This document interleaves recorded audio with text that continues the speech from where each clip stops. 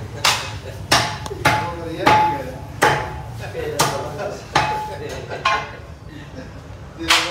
e j a